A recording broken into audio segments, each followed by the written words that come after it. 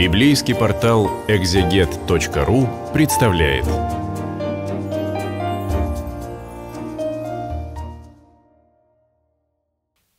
Тридцатая глава второй книги «Хроник» или «Паралипоменон» я читаю для библейского портала «Экзегет», перевод Российского библейского общества. Итак, э, у нас с вами воцарился Языкия, царь, подобный Давиду. Впервые мы такое определение встречаем. А царь, который перезаключает завет, он немножко еще и Моисею с Аароном подобен, да, но он, конечно, не новый завет придумывает, он э, заново подтверждает прежний Ветхий Завет Израиля с Богом. И э, главное событие богослужебного года, вообще календарного года, это Пасха, празднование исхода из Египта. Затем Иезекия созвал всех израильтян и иудеев совершить в Господнем храме Пасху Господа Бога Израиля. Он даже написал племенам Ефрема и Манасии, приглашая их прийти в Иерусалим. Это северное царство, которое уже отделилось от южного, и отношения довольно плохие, но кто-то же там почитает Господа. Царь, посоветовавшись со своими сановниками и всей Иерусалимской общиной, решил совершить Пасху во второй месяц. Вообще-то должны были э, в первый месяц, 14 день, но мы читали в прошлой главе, как они еще не закончили очищать храм от языческих всяких символов э, к тому времени. Во второй месяц они не смогли совершить ее в обычное время, потому что необходимое количество священников еще не прошло освящение, и народ еще не собрался в Иерусалиме. И царю и всей общине показалось правильно поступить именно так. Слушайте, они Пасху перенесли. Реформаторы, обновленцы. Да нет, э, просто в то время не смогли, а э, отказаться от ее празднования не хотели. Более того, судя по тому, что здесь написано, это вообще-то первая Пасха после большого перерыва. Кажется, ее перестали праздновать совсем, потому что это отдельное большое событие. Решили отпраздновать Пасху, да? Если бы это был каждый год, что об этом писать, да, написали бы по-другому. И эту Пасху они отпраздновали особенно там радостно или торжественно, да, не так, как прошлую, а здесь просто они решили, наконец, отпраздновать. Видимо, э, Пасха не стала к тому моменту еще ежегодным праздником, должна была, но э, среди вот этих абсолютно языческих каких-то обрядов она и состояться-то толком не могла. Э, они решили объявить об этом по всему Израилю, от Бершевы до Дана, приглашая всех совершить в Иерусалиме Пасху Господа, Бога Израиля. Не часто ее совершали так, как написано в законе. Вот подтверждение этой мысли. От Бершевы до Дана, то есть от севера до юга, как у нас сказали бы, от Калининграда до Владивостока, но э, царство-то разделено. Дан уже северное царство давно, и с ним отношения плохие. Это как если бы сказали от Львова до Владивостока, да, вот э, уже другое совсем государство с очень сложными отношениями, особенно в Дане, там святилище местное стоит. Но э, пригласить можно всех. Кто придет, кто не придет, второй вопрос. Гонцы по царскому указу возвестили по всему Израилю, по всей Иудее послание царя и его сановников, в котором говорилось – сыны Израилева, обратитесь к Господу, Богу Авраама, Исаака и Израиля, то есть Иаков получил имя Израиль, и тогда он обратится к вам, к тем, кто уцелел после нападения ассирийских царей. А там э, Ассирия уже наседает на Северное царство. Хроники об этом ничего не рассказывают, но э, Ассирия уничтожила Северное царство.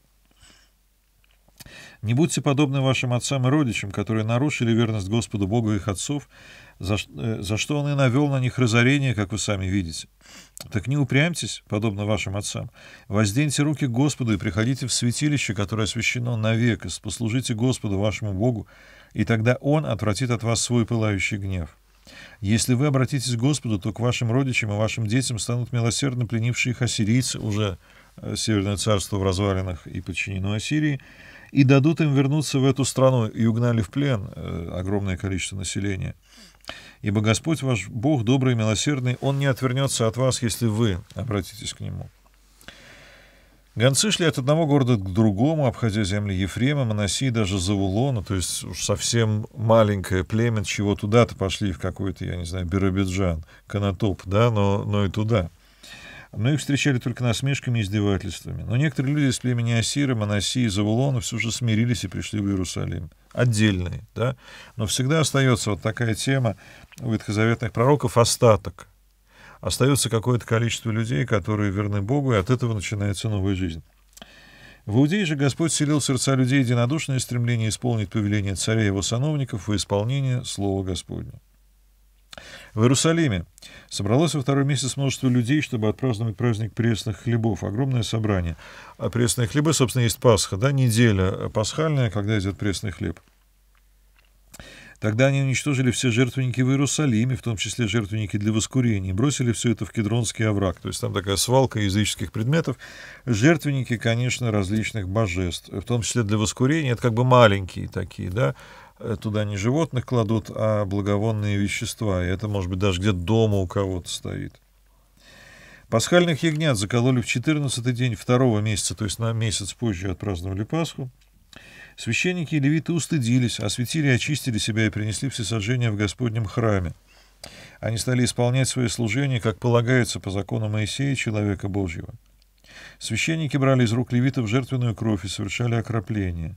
Поскольку среди собравшегося народа было много людей, которые не прошли освящение, Э, значит, э, они еще из этого язычества как бы не вышли, да, не проходили обрядов. Левитам было поручено заколоть ягнят для вс- за всех, кто был нечист для того, чтобы совершить священные приношения Господу. Смотрите, э, получается, что поскольку они не могут определить, кто чист, кто не чист, закалите ягнят за всех, сделайте этот очистительный обряд вот массово, да, такая коллективная форма покаяния. Множество пришедших из племен, племен Ефрема, Моносии, Сахара и Завулона, это северные племена, не прошли очищения, но все же они ели пасхальных ягнят, вопреки написанному в законе. Значит, они нечисты ритуально, потому что, может быть, они совсем недавно еще языческие приносили жертвы, совершали обряды. И надо бы это сделать по-другому, но обстоятельства-то не позволяют. Ибо языки помолился о них так, «Благой Бог да простит каждого, кто всем сердцем стремится к Богу, Господу, Богу своих отцов, но не прошел очищения, предписанного для святилища». Господь услышал молитву языки и исцелял народ.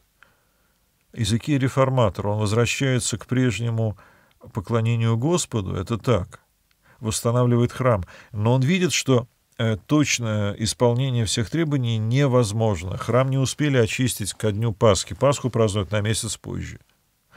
А, не все пришедшие ритуально чисты. Ничего языки молятся о том, чтобы Господь их принял в таком виде, и Господь принимает. То есть э, дело не в форме, застывшие, окостеневшие, которую надо бесконечно воспроизводить. Дело а прежде всего в э, расположении сердца. А форма может быть изменена, календарная форма или ритуальная форма. Израильтяне, собравшиеся в Иерусалиме, с великой радостью праздновали праздник пресных хлебов в течение семи дней. Левиты каждый день восхваляли Господа, а священники воздавали Господу славу игрой на музыкальных инструментах. Языки воодушевил каждого левита, и они показали, что хорошо знают Господне служение. Семь дней они ели жертвенное мясо, приносили пиршественные жертвы и благодарили Господа, Бога своих отцов. Вся община решила продлить праздник еще на семь дней. Совсем здорово, да? Мало им они долго не праздновали Пасху. Давайте ее праздновать в двойном размере.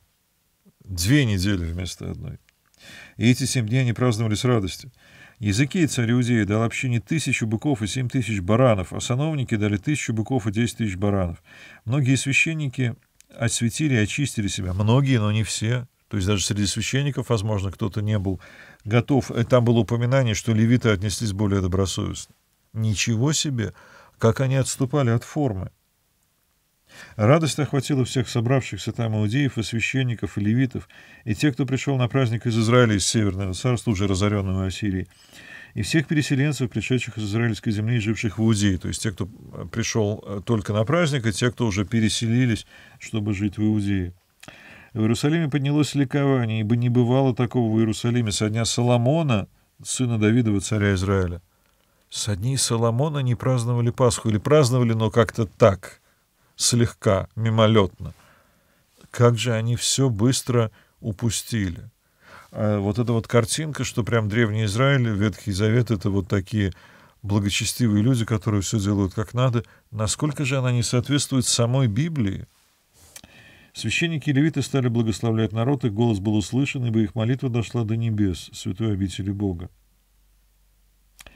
Вот, э, мне кажется, языки — это истинный облик консерватора. Кто такой консерватор? Кто все консервирует, вот как есть, пусть оно лежит так во веки веков. Нет. Тот, кто исправляет существующее, возвращаясь к изначальному смыслу, к изначальным э, вещам, ритуалам, праздникам, э, делам, поступкам, жертвоприношениям, молитвам, и при этом может себе позволять очень большую свободу в адаптации к современности, к той ситуации, которая есть. Подлинный консерватизм, консерватизм языки — это не мертвый догматизм, вот так и только так, и больше ничего никогда нельзя. Это живое творчество. Хорошо. Они отпраздновали Пасху, а дальше 31 глава расскажет —